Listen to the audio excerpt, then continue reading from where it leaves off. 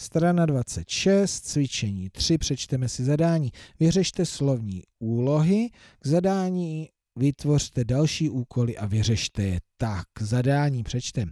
Vodníci museli na vodnickém úřadě uvést, kolik ulovených dušiček mají pod pokličkou. Vodník Česílko přiznal 156 dušiček, vodník Čochtan přiznal 43 dušiček a vodník Pepa přiznal 101 dušiček. Tak, tady je potom ještě něco dál, tak ale do toho se hned tak nepustím. Nejdříve si z toho udělám zápis. Takže tady byli tři vodníci. Česílko, Česílko a ten přiznal. To je 156 dušiček, potom tady byl Česílko Čochtán, Čochtán, Čochtán a ten přiznal 43, no tak ten teda čochtal, nic moc. A Pepa, vodník Pepa, přiznal 101 dušiček. Tak, fajn. Teď by to chtělo pravítko. Aha, přiskočilo tam ještě asi sem. Podtrhneme zápis a jdeme na ty úlohy. Každý z vodníků zatajil 300 dušiček. Kolik dušiček měl každý ve skutečnosti? Tak oni si dovolili na vodnickém úřadu něco zatajit? No a zase to uděláme takovou tabulkou.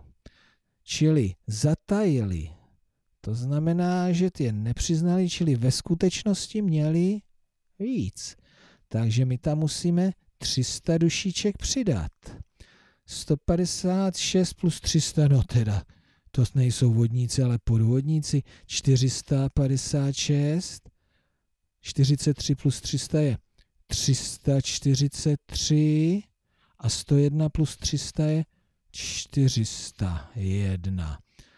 Ještě se podíváme, zda jsme počítali dobře. Jo, máme to dobře. Tak se podíváme na B. Každý z vodníků zatajil 500 dušiček. No já myslel, že 300 stačilo. Kolik dušiček měl každý ve skutečnosti? Tak to je něco podobného. Akorát, že teda zatajili na úřadě ještě víc, takže musíme k tomu prvnímu sloupečku přičítat, co za 656, to šli na druhý rok, nebo já nevím, 543 a tady kolik? Jo, 601. 601, pro jistotu zase zkontrolujeme, ano, ano, ano, po, no, a co to C? O kolik dušiček více než č, vodník Čochtan přiznal vodník Česílko. Takže co? O kolik dušiček více než vodník Čochtán přiznal vodník Česílko. Takhle.